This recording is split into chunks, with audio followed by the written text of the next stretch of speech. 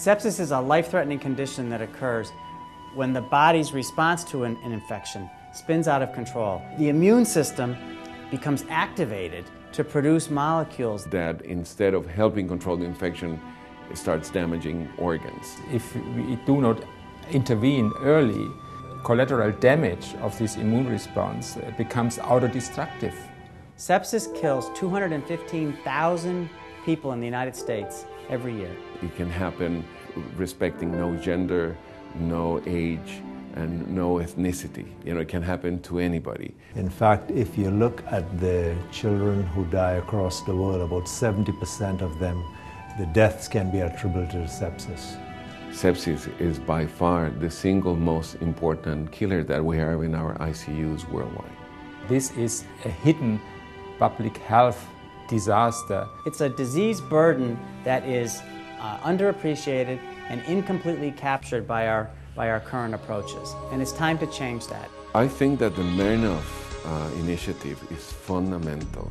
We just concluded a two-day meeting here at the Feinstein Institute, which brought together some 150 scientists and thought leaders in the field of sepsis. For what I've heard the last few days, the individuals telling me, well, this is like no other sepsis meeting. For the first time, we brought together here all stakeholders uh, socioeconomists, uh, public health specialists. Caregivers, nurses, doctors, intensive care specialists. People who know how to talk to politicians. The infectious disease people, uh, people in charge of raising public awareness. This was really uh, an important start. To really define this problem of sepsis. We're working on definitions at two levels. One is the definition for the public, and the other one is the molecular definition. The disease can masquerade in so many ways that it, recognition is a, a major problem. If we treat it promptly and we identify it promptly, that we can alter the morbidity and mortality.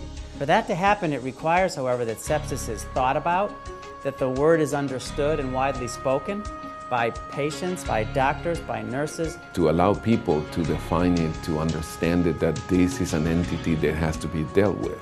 It's really an emergency that requires uh, early uh, fluid resuscitation and early antibiotics. We only learned in the last uh, five years or so that there is this golden hour. A golden hour when intervention with fluids and antibiotics can make a life-saving difference. When someone is identified as a potential septic patient, there's a sepsis alert. That activates a, a system of checks and balances. Where pharmacy, nursing, physicians follow systematically an approach to the patient. We are absolutely confident that we can save lives by implementing these standard approaches.